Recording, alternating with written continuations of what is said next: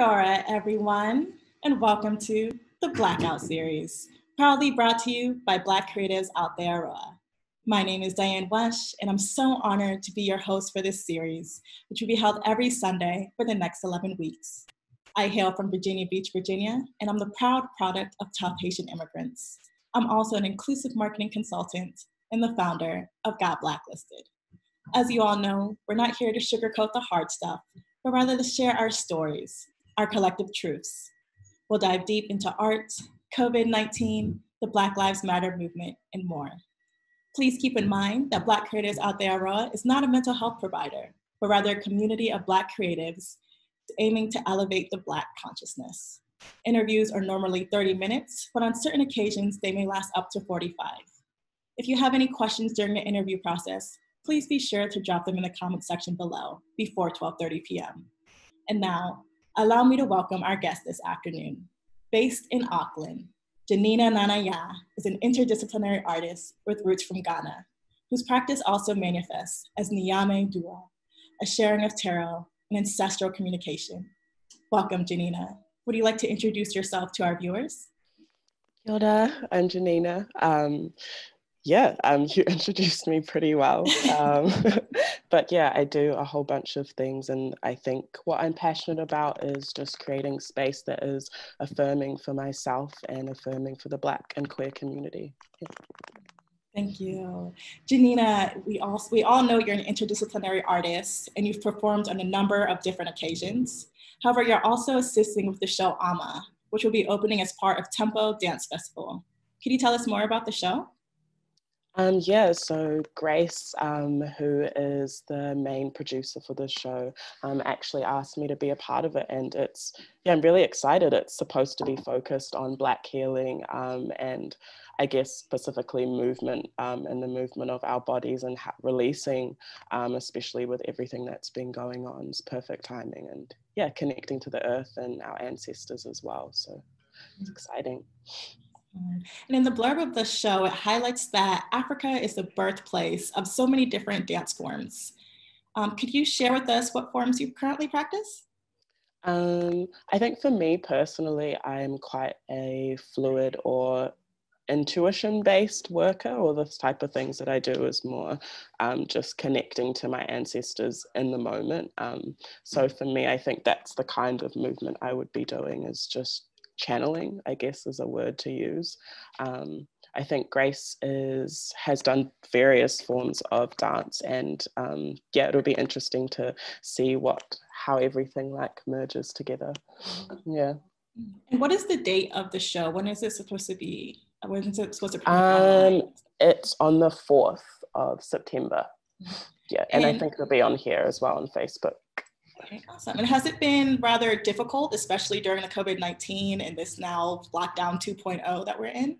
Yeah, for sure. I reckon it's been quite weird actually, um, just because we haven't been able to like meet up yet. Um, so hopefully that's going to happen on Monday. But yeah, it's been interesting navigating um, or entering into that space individually and then i guess when we come together it'll be cool to like sort things out yeah mm-hmm. so most of your practices are usually online or via zoom or how do you how are you able to you know do conduct your practices um I think most I think most of the things that I have done have actually been in person, but um, mm-hmm. yeah, I think I think because it is movement, it'll just be easier to um, do via live stream. And I guess that's just what we have to do for the current moment. So you just have to kind of go with the times and yeah.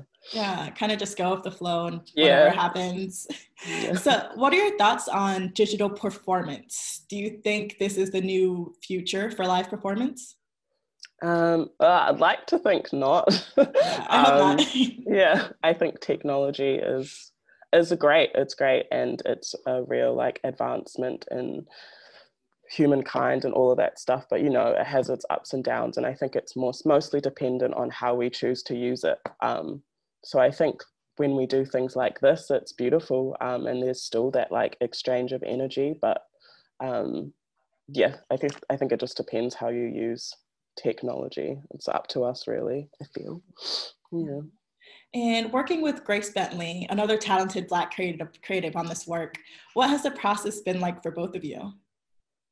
I think it's honestly been quite challenging um, because of the times as well and what's been going on emotionally and spiritually and everything. I feel like, um, yeah, it's probably been challenging for both of us, especially because this whole um, whole focus of this piece is to do with earth and connecting to earth and how we connect to um, Asase Yaa and um, heal through her. And obviously, we all have our like wounds and mm-hmm. um, traumas that come with being a being here, um, especially in black vessels. So um, yeah, I think it's been challenging, but I think the end result will be really beautiful and healing for both of us, and hopefully whoever else gets to interact with our performance as well. Yes, and can you define Asase Yaa a little more? Because I'm sure our viewers would yeah. love to know a little more about it. Yeah, Asase Yaa is um, translates to Earth Mother in my native language in Twi. Um, so yeah, that's pretty much Asase is Earth, and Ya is um, can be used as mother or yeah, something like that. And can you describe, I guess, the emotional feeling or the emotional connection you get from from doing work such as this? Yeah.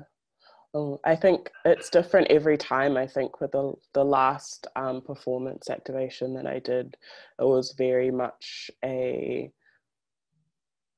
declaration of who I was, um, despite my the heaviness that comes with being in this vessel and being able to connect with um, everything else that is um, outside of these realms and our ancestors, and being able to connect with the, those energies within us. So I think every time I go through a performance, it brings up different different things that have to do with that. I guess, yeah. And I know you do such a wide range, you have such a wide range of talents. Um, so we also know that you facilitate community and healing events to prioritize and celebrate queer, Black, Brown, and Indigenous folk. Can you mm. tell us what inspired you to create this space titled Meant for Movement for the queer BIPOC community?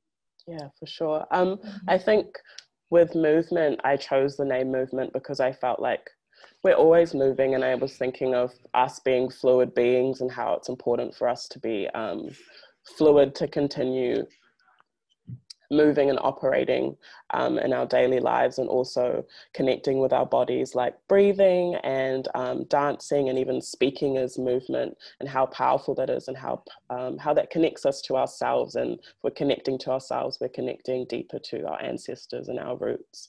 Um, so i think that that was something um, that really pushed me to create that space and also just because i didn't see a space like it and mm-hmm. it was what mm-hmm. i was craving for myself and i was like well you know sometimes you just have to do it yourself and create that space it seems so yeah that's probably yes. why i exactly. look towards that yeah awesome and do you think what is the key takeaway that participants receive from doing um, meant for movement um I guess it depends what it is because I've done a few things. Um, I've done like healing breath workshops in um, collaboration with various people, like Empower the Powerful, who is um, pretty much a breathwork healer. And then I've also thrown um, club gigs as well. So I mm-hmm. think it's just dependent on um, the circumstance. But I hope that it's just creates space for people to be themselves really and be the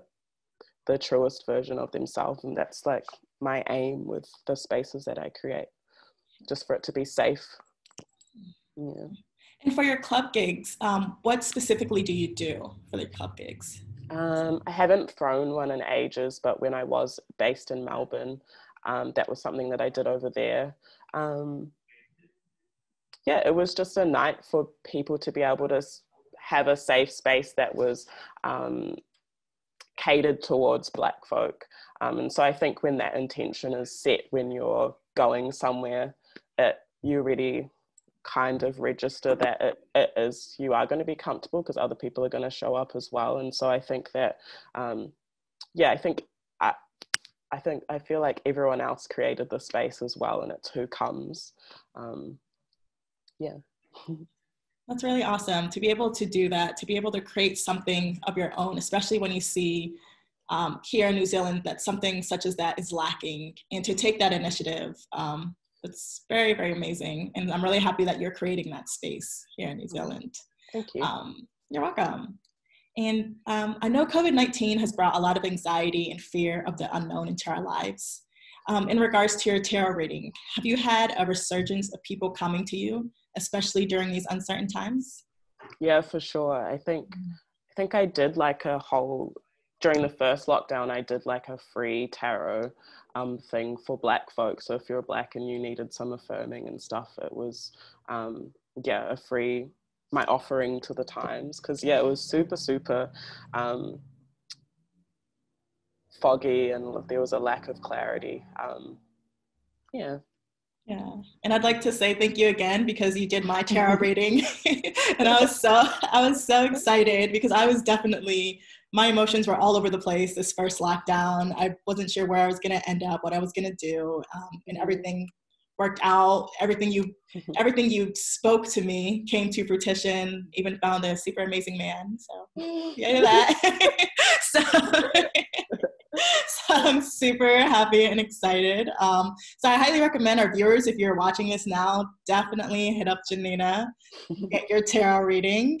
Um, janina in regards to your various art forms have you adapted to the limitations of covid-19 like have you been able to adapt well? I know you said you re- like recently you had some challenges but now since it's literally lockdown 2.0 yeah. have you been able to manage a bit better? Or would you say it's um, a little harder than the first lockdown Oh no, I, yeah, I definitely feel like it's easier um, the second time around. I guess because like you know how to fall into your routines from last time or so. So yeah, it's been a little bit easier, I reckon. Um, but I guess it still comes with its challenges as being in isolation does. But yeah, yeah. I feel like it's almost kind of in ways benefited my practice and made me really be able to sit with myself and those mm. like mirrors that come up naturally when you're yeah, yeah. away better, from the world.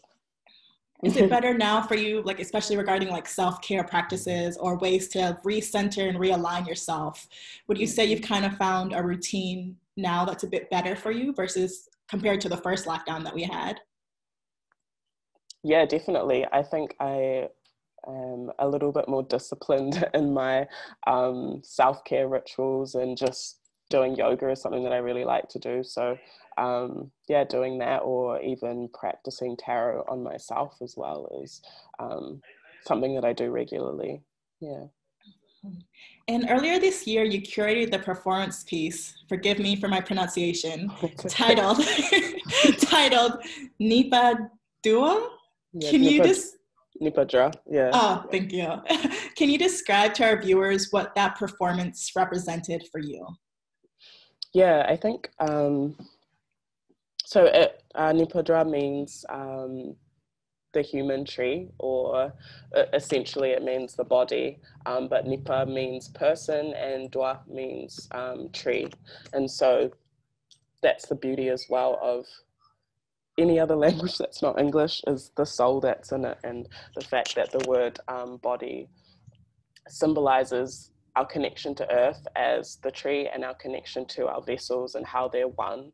And i think that that was what i was trying to portray in that performance was um, our connection to the earth and you can't really separate it and just being mindful of um, how we affect our uh, how we treat ourselves on the day to day how we treat other people and how that affects not only us but the the results that it's had on earth mother and also yeah just the environment in general mm-hmm. what was yeah. the what was the feedback like on that what, what feedback um, were you getting after that performance um i think mostly everyone was almost didn't know what to say, I think, because it was quite a vulnerable, um, intimate performance. Like there were probably only like 20 people there, and it was, yeah, there, there was like partial nudity and like all of that stuff. So it was quite, um, and lots of rituals. So it was very, very intimate. Um, so I think, I don't know, everyone just seemed quite like speechless. Um, yeah. yeah. yeah. Do you think you'll um, be doing a performance such as that again? Especially like towards the end of the year or anytime soon? Are you working on anything new as of now? Um, I think for now I'm just concentrating on um, next week's performance, and then um, if something else flows after that, then maybe. But yeah, not not for the not for the current time. Well, Janina, I would like to transition our conversation, if that's okay with you.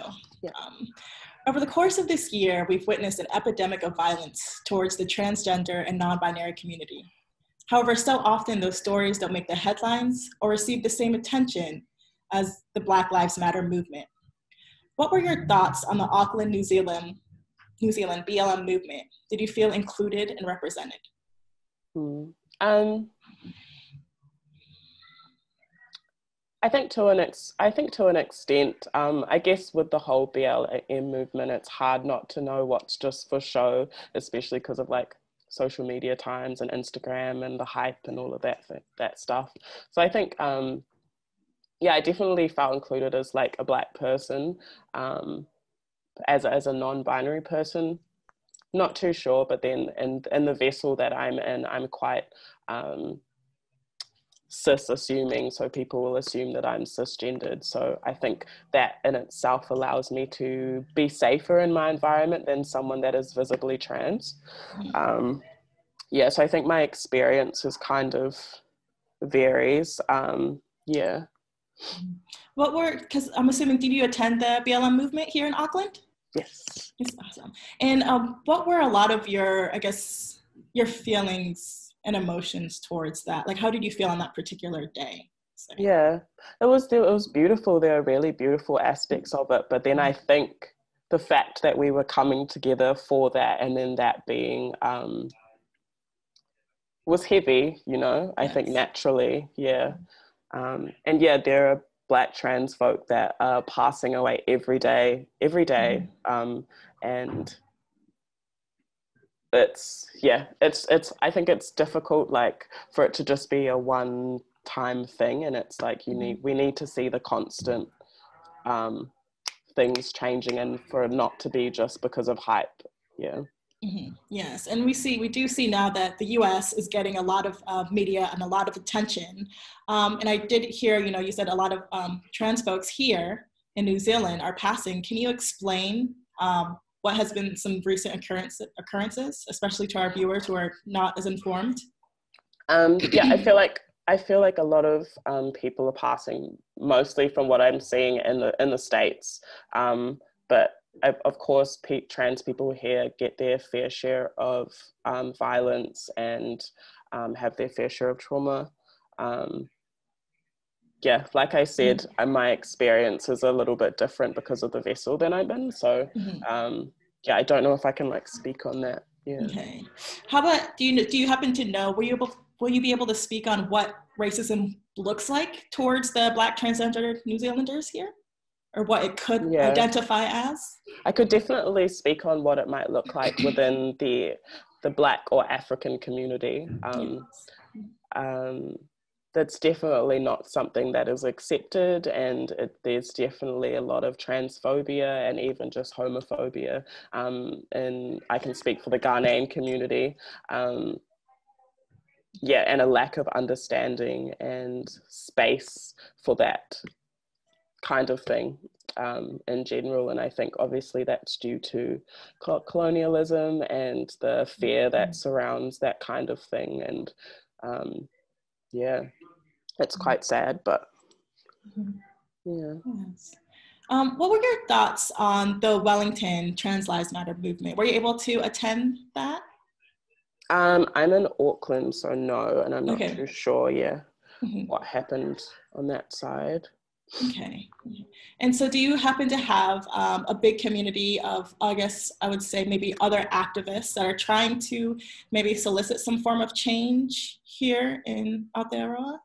Yeah, for sure. I would say like all my friends are activists mm-hmm. in their own ways. Um, I feel like you automatically become an activist if you're yeah. brown, black, or indigenous, essentially, um, without trying to be. Um, so yeah, definitely. Um, my my closest friends are doing things um, with mental health and um, mm-hmm. holistic medicine and ways of healing and there are so many different ways in which we can yeah feed and be and feed into this the greater scheme of things yes. especially yeah. with the a lot of the healing workshops do you find that a lot of folks are coming especially because of the times we're in now I haven't actually put any healing workshops on mm. um, currently just because of COVID. Yeah, um, COVID. Um, mm-hmm. Yeah, but I guess in the past, yeah, for sure, people did um, show up because that's not really space that we have here where it's more focused on like healing for queer folk or black folk or whatever it may be. Um, so yeah. Okay, thank you for that. Thank you for sharing that. Nice. Um, and I know you were scheduled to perform at the Basement Theater for the Dear Ebony event along with Jess B and Chica. Uh, we have a few viewers, including myself, who purchased tickets and were pretty sad that it was canceled due to COVID 19. and I know our viewers would love to hear a sample of your poetry. So, would you mind sharing one of your poems or improvised melodies with us? Yeah, for sure. I have some writing right here that I can read. um, Cool, this is called Our Intricate Evolution. I have been sitting in silence with you. We have been writing our thoughts on paper, pushing them politely across the floor into each other's parts until our arms are covered in blood, the blood of our beings that floated this earth before us. Our sacred roots, rooted pelvises sitting on these wooden floors, examining each other's parts and what they mean, how they sit in each other's vessels and pump after we have planted them into these soils. We worship Wade in Ogun's waters, who sharpened our spears for arms that we used to plow into each other until our hips are covered in mud, the mud where the tree meets our feet, becoming rooted like the roots of the trees they strong slept in. The solar circle, above our heads, pouring in through the skylight. We breathe at the same time, at the same pace now. We mimic them, who shines above our heads, we reflect what he reflects back to us and rays, in the heat of each beam of survival that sinks into our skin, whatever heat and harmony that holds, whatever burn and balance that brings to. Our hearts, our hearts held in each other. This is how it should be here. Our arms have graciously been pulled from gravity upwards, towards, and in the impending hunger pangs that make every single bone in our fingers ache, the elasticated, shea buttered skin absorbing with every beat of the galaxy within our chests. Here we learn that our throat is a complex tool. We unlock our throats with the keys of resilience and remembrance, remembering the songs we once sang as they dipped in the depths of Yamoya. They unlock our throats with their iron key, we learn the device in our necks, the multifaceted machine, vessel, and portal entity within itself exists. They unlock our throats, and our heads begin to spin against resounding resistance running, trickling into our ears. This is the evolution, the elevation of the melanated being, the transmuting dance of our bodies, the grace of our dance together, the evolution of our entire being is a circular, winding rotation winding to unwind the ties of each other's flesh and string. And this is how we sit with and in, around each other and heal, holding truth with and in, around each other together. We carry each other with and in, around each other together on these faded wooden floors under the sun. that was wonderful. Thank you so much for sharing that with us. Nice. Um, and may I ask what inspired that? What inspired that? Um, I think I wrote it in a time where I was just really finding myself and yeah, just flowing with the process of it. And I feel like that's what it's about, just our evolution and process of healing and how it's continuously ongoing and that we should do it together as well. Yeah. Did you find it um, being maybe like a very emo- emotional process for you? Yeah, I being think I find everything being emotional. Yeah. yeah, yeah, definitely. Because it's just like a lot of like unearthing and revealing of yourself. yeah, for sure. Mm-hmm. That's awesome. Thank you. And so, uh, for a lot of your gigs, I know, so you usually do a lot of the improvised melodies and a lot of the poetry. Do you have anyone, I mean, I know we're in COVID, you know, lockdown 2.0, but when level two, I guess, comes around, hopefully tomorrow. Will you be having any more shows? I know uh, Dear Ebony got canceled, but do you have anything else that may be going on, or any ways we could support, or? Um, there might be some, there is something coming up that I don't know if I can say yet, but okay. so it's a surprise. Um, yeah, but um, yeah, that mm. there is there is some stuff coming up that I will be a part of. Yeah, that will mm. probably pop up on my socials or something. Yes, awesome. Do you think you'll um, be maybe doing any poetry online, or doing like maybe um, like again like any like lives or just random poetry or improvised um, melodies online? not too sure maybe but i do post like a lot of my poetry on my instagram as well mm-hmm. um, yeah so if anyone does want to have a read of that it's all it's all through my instagram yeah, awesome and can you let your um, can you let our viewers know um, your instagram handle i'm sure um, they'd love to know it's janina.nana.yaa so j-a-n-i-n-a dot n-a-n-a dot y-a-a Thank you for that. And then we do have a question from an anonymous viewer. Mm-hmm. Um, and this is a question. Uh, if you haven't come out yet, what is the process to come out to the queer Black community? Because mm. that's what they want to know. So.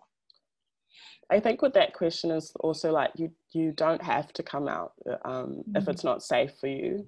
Mm-hmm. Um, so I guess it's like thinking about your environment and thinking about whether it is safe for you what's what was what is going to happen or what could happen if you um, are going to come out like are you going to feel um, empowered or you're going to feel in danger i guess mm-hmm. is something to just think about because sometimes coming out in the black community or african community isn't like the nicest thing um, but if you are feel, feeling like you are going to be safe or um, yeah, I think it's just important for us to be in our truth and be ourselves um, and allow room for us um, or allow room for ourselves to um, grow and cultivate our fluidity.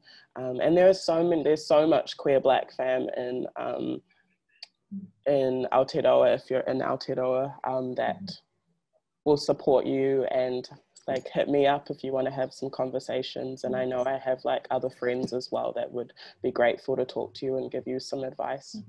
Yes yeah, i'm sure they're grateful for that because it is very beneficial to have safe spaces to be able to yeah. do that i'm sure right? And um, if you just give me one moment i'm just going to check my messages to see what other questions.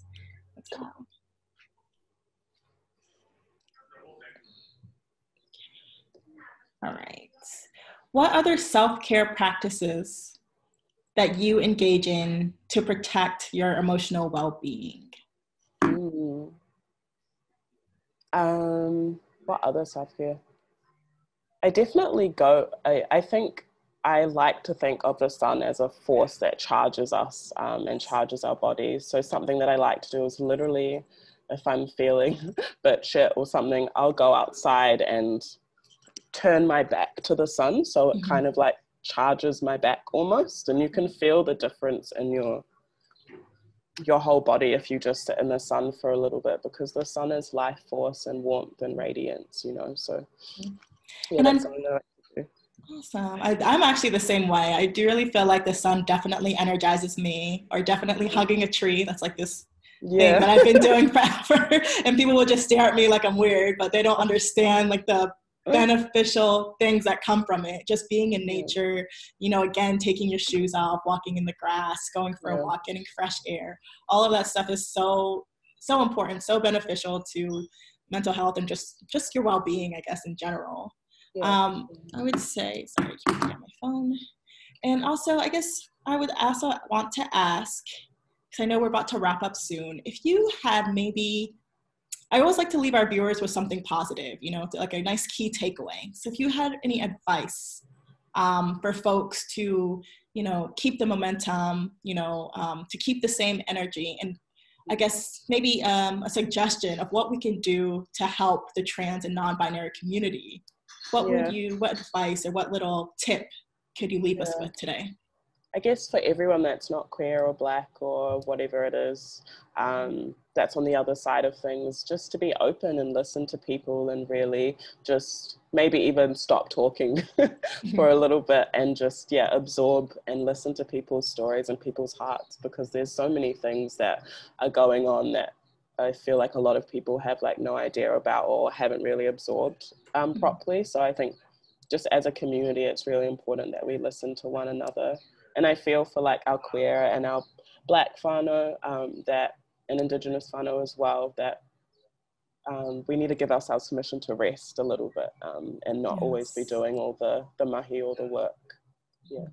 Yes, I think rest is so vital. So well, important. Thank you so much for joining us today, Janina. Like it was Thank you such an honor to chat with you. Um, so we're gonna definitely wrap up now.